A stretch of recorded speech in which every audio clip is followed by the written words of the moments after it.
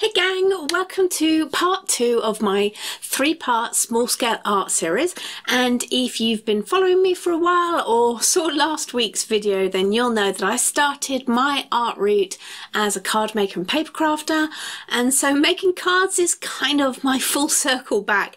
And I do love designing on these small scales from time to time. So this piece is also going to end up as a card, but I've gone slightly less abstract with this one and I'm using a floral focal point as you'll see as we go through. But I've kept that abstract art title because, well, I actually am not that good at coming up with titles for starters.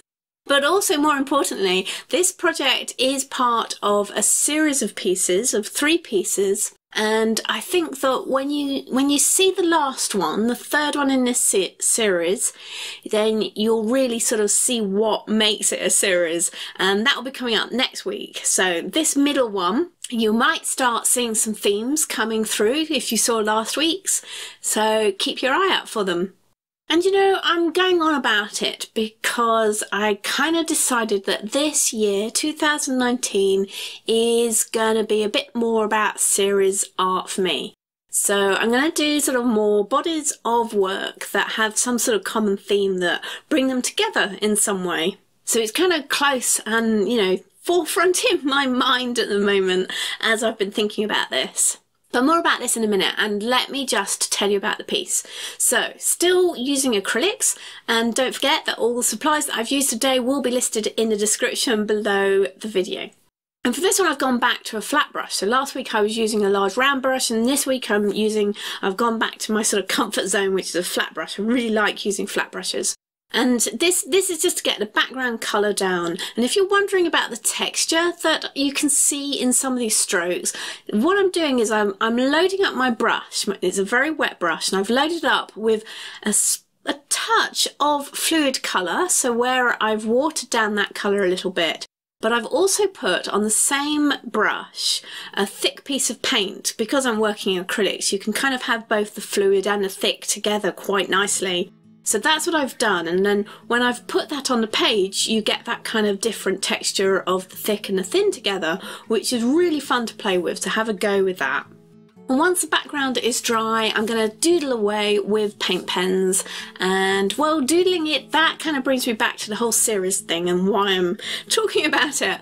And why I think that this year is going to be a bit more about that, for me anyway. What I really mean, I mean, it's it's kind of more about focus, but focusing on something for a set amount of time to produce a body of work because I've been kind of finding myself naturally focusing on a few aspects. And now that I've kind of spotted this and I've realised that that's what I'm doing, I thought I would harness it a little bit more and sort of do it more consciously and explore it in more depth. So, for instance, I've been keeping a regular doodle sketchbook with daily doodles and patterns, and I did share this with you guys in Inktober, so that was what I was using for my Inktober uh, over on Instagram and I did a sketchbook tour as well of it and I'll link those up for you so you can see those videos if you miss them. And I've also been playing with watercolour effects with various different mediums, not just with watercolour paints, and I really love doing that. And I know a lot of you have probably seen that on various places, so here on YouTube and also on Instagram. But I have to admit, I've kind of fought against that whole focusing down for such a long time now, and I've I felt like I didn't want to be known for a particular thing because, well, I just like too many things. and you know, I think quite a lot of us do. We just, I mean, there's so many different looks I like, there's so many different styles that I like, and I want to try it all. Also, as I said last time, I've worked for manufacturers and retailers and magazines for coming up to around 10 years now, and I think that I've managed to work with them for so long because uh, I could turn my hand to so many different styles and techniques and be flexible with my work. So it's really kind of helped to be able to do lots of different things. And you know, if if you can deliver to a brief and on time, but you know, do cute and whimsical one week and then the next week just you know full up grunge, then that's that's a bonus and it can work in your favour. So yeah, I've been pushing back against being too niche and just sort of being known for one particular thing. I mean, this is kind of different to style. I mean, it it overlaps with style, but I'm not specifically talking about style today. And I think it's one of those issues that many creatives will have come across during their work or, you know, way their career has grown and things like that. I mean, for some, it might not be such a big issue because they might naturally find themselves focusing on one medium or one subject and, you know, they'll be known for that and that's fine. But then for a lot of us, we also, we've worked our way up through the sort of Jane of all trades route. and, and then sort of like the focusing down can, can become a bit of a challenge. But I don't think that focusing and working in a series means that you have to really commit to one thing over another thing. But it is a way of really exploring an aspect in great depth and getting better at it and just doing that more quickly because you know yourself you know if you try to do too many different things you you end up sort of like not really progressing on any of them and if you focus down on one thing at a time, you can develop more quickly in that thing. Anyway, that's the plan.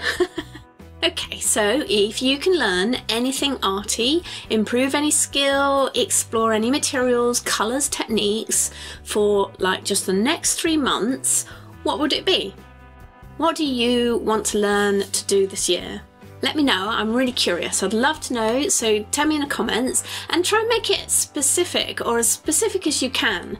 So don't just go, I want to learn how to use acrylics. Uh, it's just a wee bit too broad. So try narrowing it down and, you know, it could be anything. It could be something like, I would really like to learn, you know, three ways to add texture with heavy body acrylics, for example, something like that because making it more specific is really going to help you to focus and you know it hopefully won't lead to an overwhelm because you know you'll be able to go right this is what i'm going to focus on for this amount of time. I'm going to make a body of work exploring this and then i can move on and do something else and I've got definitely I've got some more of the the work with the doodles that I've been doing. There's some very specific things I want to do with them.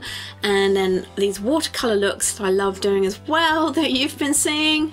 So there's definitely going to be some more projects coming out with me using them but hopefully some that are a bit more concentrated. And also, I mean, this flower that I'm drawing today, so this is a great example. Now, this flower kind of first appeared as a mixed media project for my process addicts over on Patreon and I kind of fell in love with it. It was one of those sort of accidental drawings and when I did it and I looked at it I thought well I really love the shape and the form of this. This could really work in a lot of different ways. So one thing I've been doing now, one of my focuses has been to see how I can use this form in some different types of artwork.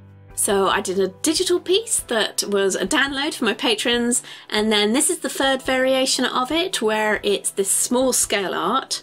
And it's kind of perfect on a card front, isn't it? That's just the sort of, just a nice piece of art for a card.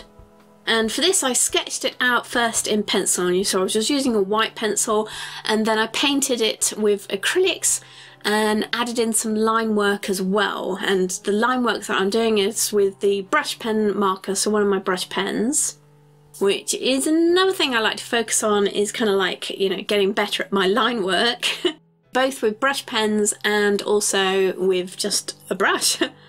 so I kind of wonder where else this flower is going to turn up, so we will keep an eye on that. But yeah, it's a good example of something to focus on. So if you have a piece of work that you really love, some some small aspect like this, something you've drawn that you really love, or some combination of things that you really love together, then just pick it out and see if you can make a series of different artworks with it and see how you can stretch it and where you can take it. Now I've mounted this mini piece onto a craft card blank and if you want to see how I did that, I went into that in more detail in that first video in this series. So check out that link. Back to a pure abstract again with my last in this series for next week. So in the meantime, if you're looking for some more mixed media flower inspiration, then watch these videos next and I'll see you over there. And thank you for watching this one. Have a really fun arty week.